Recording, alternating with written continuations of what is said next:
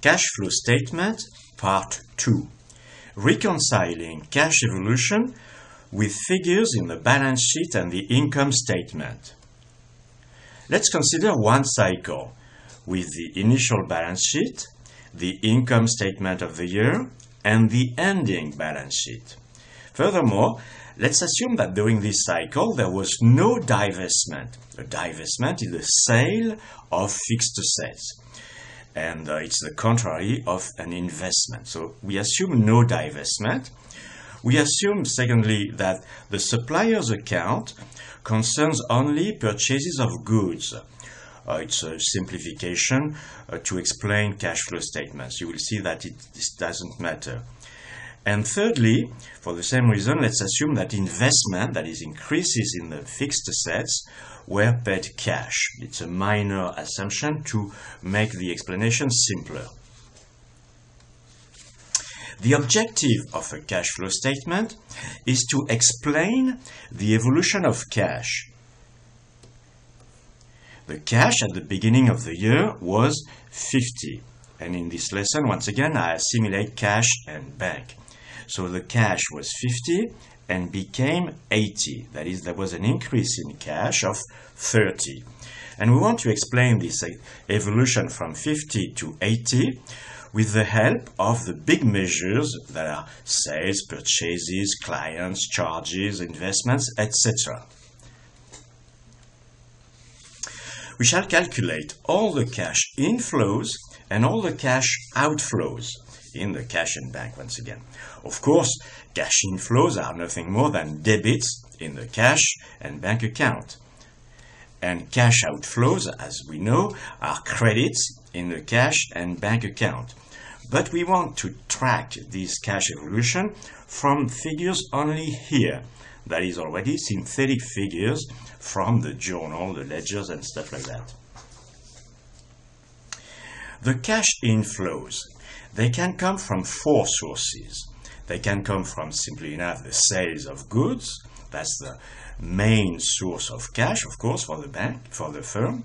Secondly, they can come from divestment, but we have assumed there are no divestment in our example. They can come from raising new capital, just like the initial capital, but more. And they can come from new borrowings. First of all, cash from sales.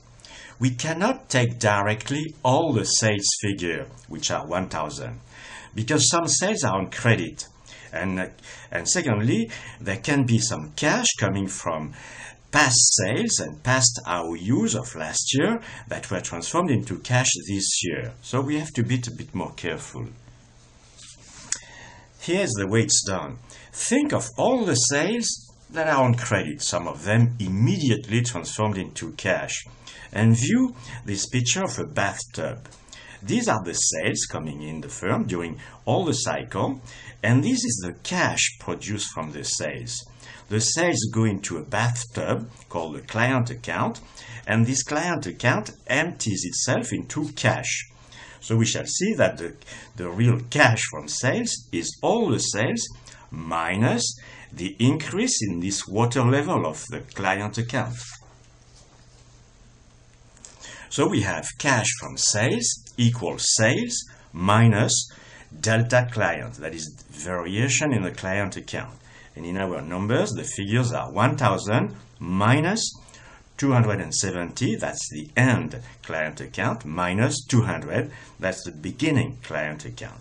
So cash from sales, 930 and there are no cash from divestment. That's an assumption.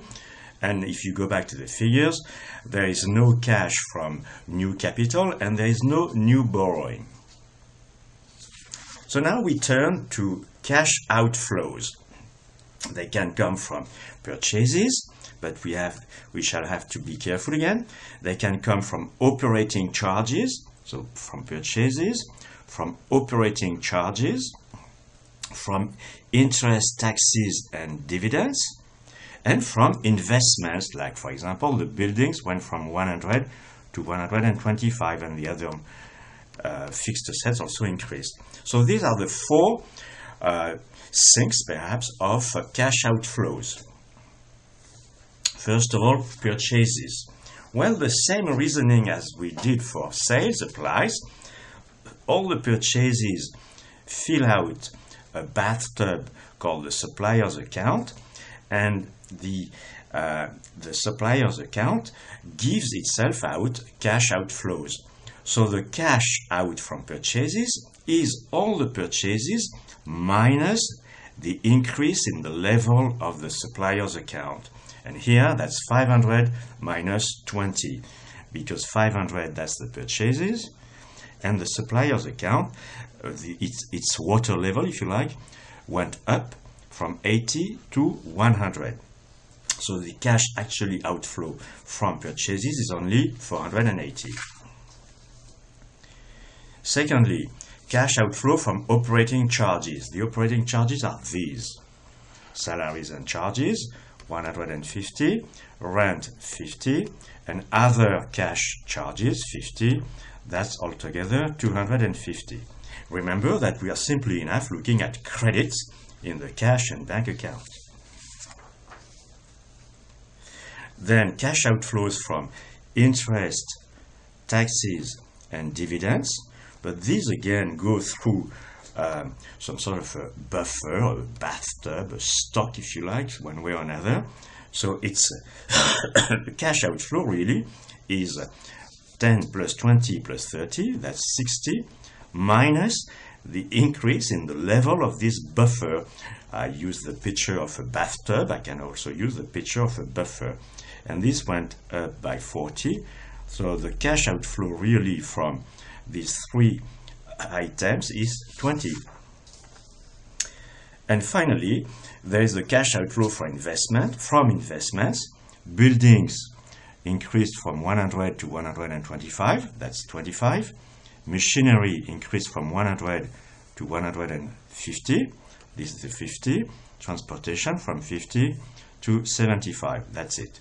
These are for the long term, or if you prefer, fixed assets investments.